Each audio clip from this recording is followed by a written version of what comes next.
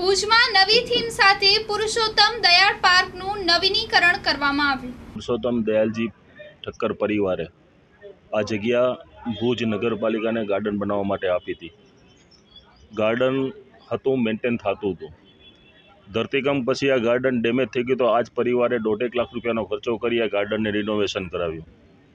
આ પરિવારના અગ્રણી મોડી આદરણીય દિનેશભાઈ ઠક્કર મારી પાસે આવ્યા. અને એમણે કીધું કે આ બગીચો નગરપાલિકા રિનોવેશન કરાવે તો સારું રહેશે. સાથે સાથે આ વિસ્તારના અમારા નગરસેવકભાઈ કાશમભાઈ ની ટીમ એ પણ મારી પાસે રજૂઆત કરી કે આ ગાર્ડન નવું બનાવવું જરૂરી છે.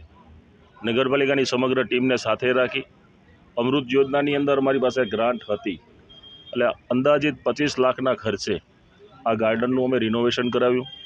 આજે આ ગાર્ડન આપ જોઈ શકો છો કે નવા થીમ ઉપર બનેલો, નવા કન્સલ્ટન્ટ નવા એન્જિનિયરની થીમ ઉપર બનેલો. આપણા ભુજના પાંચ નાકાની ડિઝાઇન ભુજમાં ફરવાલાયક સ્થળની યાદી. અહીંયા જે સુલભ શૌચાલય હતો એને પણ અમે રિનોવેશન કરાવી નાખ્યું છે. અને આવનારા દિવસોની અંદર હજી પણ બે કે ત્રણ ગાર્ડન ભુજ નગરપાલિકા દ્વારા લોકાર્પણ કરવામાં આવશે. ચોક્કસપણે કેશુભાઈની વાત સાચી છે. વસ્તુ બનતા બની જાય છે, પછી એને મેન્ટેન નથી થતી. આ વસ્તુ મેન્ટેન થાય, જોવાની જવાબદારી અમારી અને અમારા કર્મચારીગણની છે. ચોક્કસપણે આપને વિશ્વાસ દેવડાવું છું કે આ ટીમ છે નગરપાલિકાની એના પછી પણ જે ટીમ આવશે એ આ બગીચાની જાળવણી કરશે એની તમને ખાતરી આપું છું. આ ખાસ કરીને આજે ઠક્કર પુરુષોત્તમ દયાળ પાર્કનું લોકાર્પણ કર્યું ત્યારે એમના પરિવારજનો આપ એમના ખુશી ઉપર, એમના મોઢા ઉપર જોઈ શકો છો કે જે એમને ઓગણીસો ને સાહીઠમાં આપેલો બગીચો છે, જે જર્જરિત હાલતમાં હતો અને લોકો અહીંયા બિનઉપયોગ કૃત્ય અહીંયા થતું હતું. જે હવે નવનીકરણ થયા બાદ એવી અપેક્ષા છે કે લોકો આનો ઉપયોગ કરશે અને વોકિંગ માટે પણ આવશે અને નાના નાના ફૂલકાઓ અહીંયા આવીને આનંદ પણ માણશે. વેકેશન છે એટલે.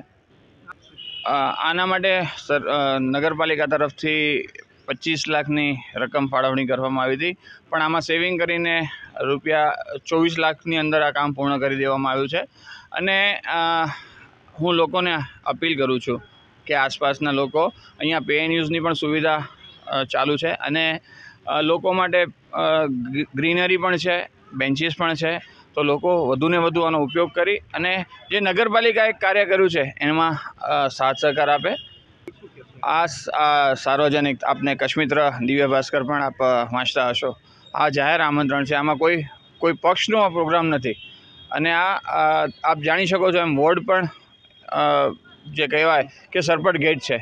તો અમને પક્ષ કે વિપક્ષ જેવું ભારતીય જનતા પાર્ટી માટે ક્યારે કોઈ એવું અલગ તારવી શકાય એવું કોઈ વોર્ડ નથી.